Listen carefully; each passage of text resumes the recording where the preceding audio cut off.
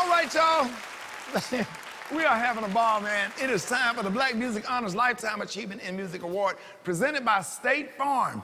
And it is my distinct pleasure to welcome America's music royalty to this stage. Ladies and gentlemen, I mean, I am so me, excited Stop. to Let do go this. Of me. Get off. Get off me. Get off me. What's up? What's up? What? the- Go, go, go. Gone. What's going on? No, I'm, I'm about to, um, is, I mean, is there a problem? What's You going on? got think you finna introduce the Jacksons without me. Toya. Matter of fact, speaking of Tito, can Rickey, if I could just come down here and get an autograph, back off me. Sign my Destiny album. I know y'all know how to spell Latoya, but mine is with an E, okay?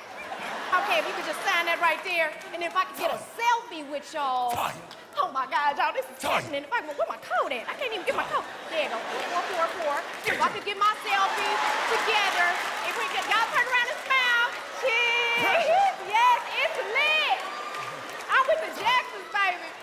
Girl sign it. Yes. Thank you very much.